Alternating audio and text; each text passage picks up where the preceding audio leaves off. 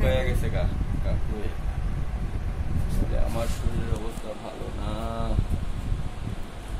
আমি দুর্বল হয়ে গেছি। আচ্ছা। স্যালাইনটা পাইলে সবল হব।